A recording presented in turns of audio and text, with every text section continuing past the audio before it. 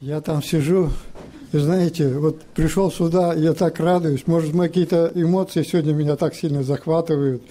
Но вы знаете, что я почти уже год уже в таком вот небольшом состоянии нехорошем находился. А сегодня Бог меня исцелил, слава Богу. Слава Иисусу.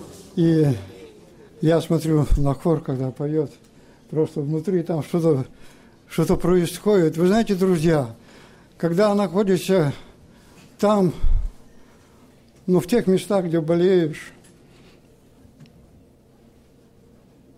видишь страдания людей, и как бы один находишься, и имеешь только надежду на Бога.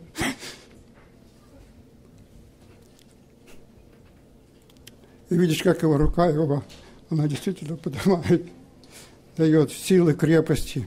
И я благодарю Бога, что мы сегодня здесь, на всем этом месте находимся, что многие у нас еще есть силы, что мы здесь находимся хоть плотью, но мне э, очень важно, я хочу это слово прочитать, не то, что плотью находиться, а здесь написано такое, второе Парапалипоменон, 15 глава.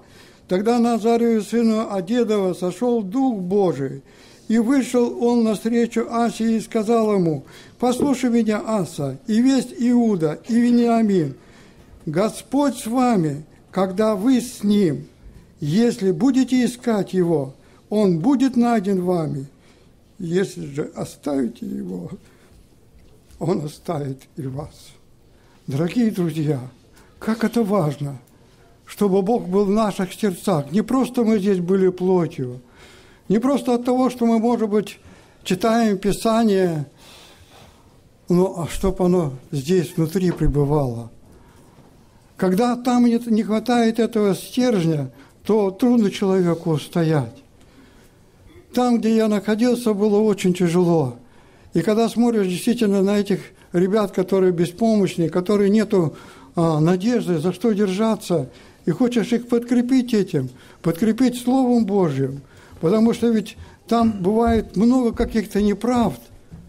И ты говоришь эту истину, как сегодня говорил Саша, говорил, припаяшься этой истиной, истиной той праведной Иисуса Христа, чтобы мы знали эту истину, что Он есть тот, который Господь во всех случаях нас выводит и нам помогает.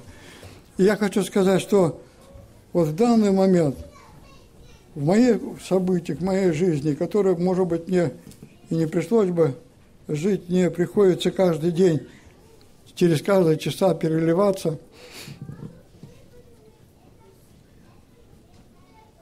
Но Бог помогает мне, дает силу. Я прошу у Бога, чтобы Бог меня благословил и дальше трудиться. Я спросил, говорю, врачей, говорю, я могу играть на трубе? Можешь. Поэтому помолитесь за меня и благословите тех врачей, которые там находятся, которые нас лечат, и которые мои друзья, которые болеют тоже сильно. Пусть их Бог их благословит. Ну, вот такое небольшое у меня свидетельство. Да благословит вас Бог.